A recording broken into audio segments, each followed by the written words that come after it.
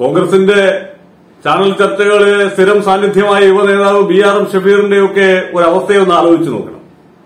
അദ്ദേഹം കോൺഗ്രസിന്റെ ഭാവി വാഗ്ദാനങ്ങളിൽ ഒന്നാണ്. നന്നായി ചാനൽ ചർച്ചകളിലൊക്കെ ഇടപെടുന്നയാളാണ് നമുക്ക് ചാനൽ ചർച്ചകളിൽ കാതലായ വിഷയങ്ങൾ ഉന്നയിക്കാൻ കിട്ടാതെ വരുമ്പോൾ ചിലപ്പോൾ ചില മണ്ടൻ നിലപാടുകളൊക്കെ പറഞ്ഞു പോകും. അത് പറയുന്നതിന്റെ പേരിൽ എതിരാളികൾ ചിലപ്പോൾ വളഞ്ഞിട്ട് ആക്രമിക്കും. അതൊരു വല്ലാത്ത ക്ഷീണമായി നമുക്ക് തോന്നുകയും ചെയ്യും. പക്ഷെ ചാനൽ ചർച്ചകളൊക്കെ അപ്പോൾ കഴിഞ്ഞു. അവിടെ ഇട്ടിട്ട് പോകേണ്ടുന്ന കാര്യങ്ങളാണ്.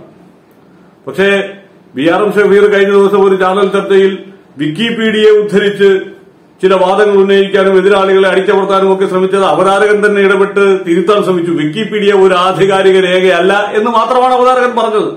അത് ഷബീറിന് വലിയ ക്ഷീണമായി. അതിന്മേൽ പിടിച്ച് തൂങ്ങി തൂങ്ങി തൂങ്ങി. ഒടുവിൽ ആകെ നാട്ടക്കേസായി. ഒടുവിൽ അയ്യോ എനിക്ക് വിക്കിപീഡിയ വേണ്ടേ എനിക്ക് മനസ്സിലായേ എന്ന് പറഞ്ഞ് തൊഴുതു പോകേണ്ടുന്ന ഒരു അവസ്ഥയെത്തി അങ്ങനെ വല്ലാത്ത ഒരു നാണക്കേട് ഉണ്ടായി എന്നുള്ള സ്ഥിതിവിശേഷം ആ ചർച്ച കഴിഞ്ഞപ്പോൾ ഉണ്ടായി ഷബീറിനെ സംബന്ധിച്ചിടത്തോളം. അത് അവിടെ ഇട്ടിട്ട് പോയിട്ടില്ല ഇപ്പോഴും ഏറിൽ തന്നെയാണ് നിൽക്കുന്നത്. എന്നെ ഒന്ന് ഏറിൽ നിന്ന് താഴേക്ക് ഇറക്കൂ എന്നുള്ള മട്ടിലാണ് പിന്നീടും ഷമീറിന്റെ പ്രതികരണങ്ങൾ ഉണ്ടാകുന്നത്.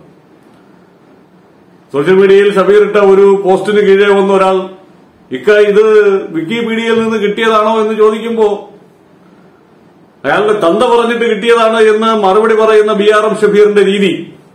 അദ്ദേഹത്തിന്റെ ആശാൻ വി ഡി സതീശനൊക്കെ ഹാക്ക് ചെയ്യപ്പെട്ട ഫേസ്ബുക്കിൽ കൂടി നടത്തിയ ചില പ്രതികരണങ്ങൾ ഉണ്ടല്ലോ ഹാക്ക് ചെയ്തതാണ് എന്ന് വി ഡി സതീശൻ പറഞ്ഞതുകൊണ്ട് അതിലേക്ക് അത് ഹാക്ക് ചെയ്തതാണ് എന്ന് വിശ്വസിക്കാനാണ് ഇഷ്ടം. അത് ഇതുവരെയും കേസ് കൊടുത്ത് നിയമപരമായി തെളിയിക്കാനൊന്നും അദ്ദേഹത്തിന് കഴിഞ്ഞില്ല എങ്കിൽ പോലും ആ മോശം കമന്റിടൽ സതീശന്റേതല്ല എന്ന് സതീശൻ പറഞ്ഞതുകൊണ്ട് നമുക്ക് അങ്ങ് വിശ്വസിക്കാം. എന്തായാലും അതുപോലെ ഹാക്ക് ചെയ്യപ്പെട്ടതാണ് എന്ന് പറഞ്ഞെങ്കിലും രക്ഷപ്പെടാൻ ഷബീർ ഒന്ന് തയ്യാറാകണം. കാരണം ഇതൊരു പൊതുപ്രവർത്തകന് യോജിച്ച രീതിയല്ല.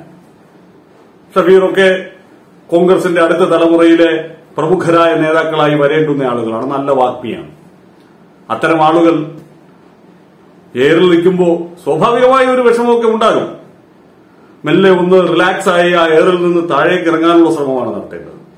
നാളെ ചർച്ചയ്ക്ക് പോകുമ്പോൾ കൂടുതൽ ഊർജത്തോടുകൂടി എതിരാളികൾക്കെതിരെ ശബ്ദമുയർത്താനാണ് ശ്രമിക്കേണ്ടത്. അല്ല വെറുതെ ശബ്ദമുയർത്തലല്ല അതൊക്കെയാണ് ഇപ്പോൾ സംഭവിക്കുന്നത്. പറയാനൊന്നും ഒന്നുമില്ല. എപ്പോഴും ആവർത്തിച്ചുകൊണ്ടിരിക്കുന്ന ഒരേ കാര്യങ്ങൾ തന്നെയാണ്.